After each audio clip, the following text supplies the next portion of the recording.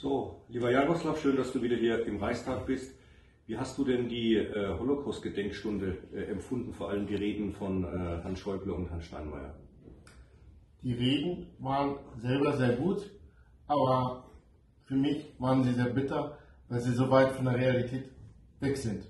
Ähm, noch dazu, wenn man mich reden hört, ich spreche immer von der Schuld der Nazis. Mir gefällt die Wortwahl nicht, der Politiker. Da wird von der Schuld der Deutschen gesprochen. Ich halte das für einen Riesenfehler, weil man in meinen Augen, wenn man sagt, die, die Schuld der Deutschen, dass man dann jedem Deutschen, egal ob er danach, davor geboren ist, egal ob er Gutes getan hat oder Schlechtes, sofort über einen Kamm gezogen wird. Das halte ich für einen Riesenfehler. Deswegen müsste man für mich immer von der Schuld der Nazis sprechen und nicht von der Schuld der Deutschen.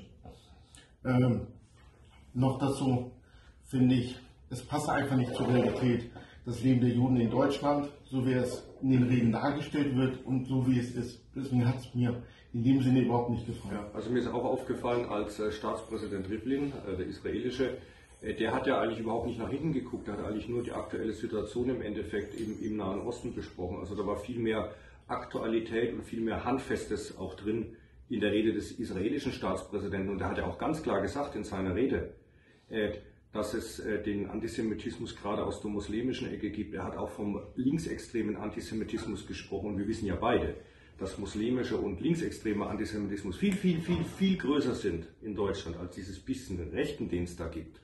Äh, und äh, da hat Rivlin auch darauf hingewiesen. Aber das ist natürlich in den kurzen Ausschnitten in unserem Mainstream-Presse wieder mal schön unter den Teppich gekehrt worden. Dann gab es auch noch die Rede von Herrn Rivlin, dem israelischen Staatspräsidenten, wie hast du, du diese Rede empfunden? Ich fand die Rede sehr gut, aus dem Grunde, wie du das vollkommen richtig gesagt hast, er zielt nicht nur auf die Vergangenheit, sondern auch auf die Gegenwart. Ich fand es auch gut, dass er Probleme in der heutigen Zeit angesprochen hat, sprich den Iran, die, den, die Hamas hat er angesprochen, äh, die Hezbollah hat er nicht angesprochen, aber logischerweise war die auch mit gemeint. Das habe ich bei den deutschen Politikern, bei Steinmeier, bei Schäuble sehr vermisst. Man muss nach hinten gucken, das gehört zu unserer Verantwortung, gar keine Frage. Aber wir ehren die Menschen am meisten damit, dass wir auch dafür sorgen, dass die Gegenwart für Juden ähm, ja, anständig ist, sicher ist. Und das vermisse ich, den Blick auf die Gegenwart. Vielleicht gefällt den Politikern die Gegenwart nicht. Vielleicht haben sie Angst, dann umso mehr die Wahrheit sagen zu müssen. Und ähm, ich stelle auch immer die Frage, Warum ist die Hamas und die Hisbollah in Deutschland noch nicht verboten? Die AfD will sie verbieten. Warum ist sie es noch nicht?